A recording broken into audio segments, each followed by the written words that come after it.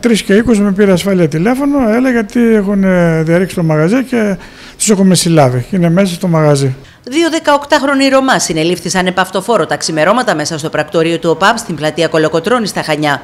Εφαρμόζοντας τη μέθοδο που είχαν εφαρμόσει και στο παρελθόν, δράστες διάρρηξης της ίδιας επιχείρησης προσπάθησαν να παραβιάσουν την κεντρική είσοδο και αφού δεν τα κατάφεραν, έσπασαν την πλαϊνή τζαμαρία. Η ιδιοκτήτρια του διαμερίσματος που βρίσκεται πάνω από το πρακτορείο ήταν εκείνη που τους αντιλήφθηκε και ειδοποίησε την αστυνομία. Η διοκτήτρια μένει από πάνω και άκουσε τα χτυπήματα και κάλεσε το 100 και έρθει και τους έπιασε από αυτοφόρο. Δύο νεαροί, 17 χρόνια, από την Αθήνα έχουν έρθει, λέει, μένουν κάπου στη Χρυσή Ακτή. Ο ένας από αυτούς έχει συμμετάσχει σε αληστία, παρακαλώ. 17 χρονών παιδί. Άλλοι δύο δράστες επιχείρησαν να διαρρήξουν απέναντι κατάστημα με κλειδαριές και τροφές για κατοικίδια. Σύμφωνα με μαρτυρία, πρόκειται για μέλη της ίδιας παρέας που κρατούσαν τσίλε στου δύο πρώτους που είχαν παραβιάσει το πρακτορείο του ΟΠΑΠ.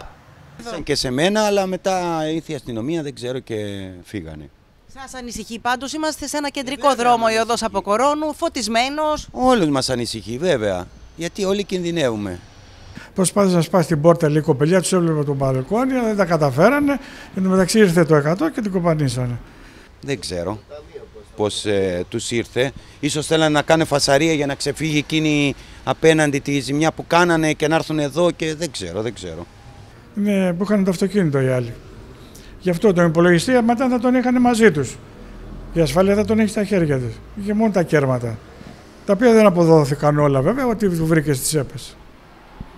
Και του λέει τι είναι αυτά, λέει από το κουμπαρά μου λέει. Θρασίτατα. Τι να πω. Τρίτη φορά είναι. Από το πρακτορείο οι νεαροί Ρωμά πήραν μικρό χρηματικό ποσό, το οποίο αποδόθηκε στον πράκτορα. Την ίδια στιγμή το χτύπημα των διαρρηκτών προκαλεί ανησυχία, καθώς έδρασαν σε έναν κεντρικό δρόμο, καλά φωτισμένο και χωρίς να έχουν καλύψει τα χαρακτηριστικά του προσώπου τους. Δεν βλέπεις με φωτισμούς στη γωνία, κεντρική είσοδο και πήγαν να σπάσει την πόρτα και από πάνω σπίτι. Πάντα θα υπάρχουν κάποιοι που είτε είναι άνεργοι, είτε δεν ξέρω, δεν έχουν δουλειές ή είναι τεμπέλδε και θα προσπαθούν να βγάλουν το εύκολο χρήμα. Απλά. Παντού υπάρχουν αυτοί. Παντού, σε όλες τις πόλεις, σε όλα τα κράτη. Ζούμε σε περίεργους κόσμους, ε, εποχές.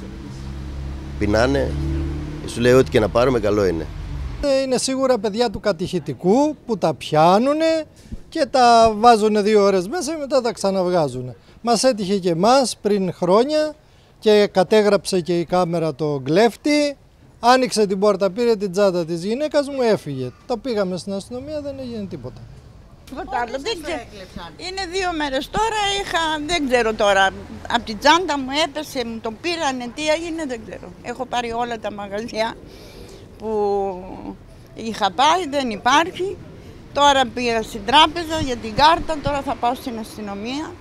Ο ένας από τους δύο συλληφθέντες για τη διάρρηξη στο πρακτορείο του ΟΠΑΠ έχει απασχολήσει και στο παρελθόν τις αρχές και μάλιστα δίνει το παρόν κάθε μήνα σε αστυνομικό τμήμα για υπόθεση κλοπής.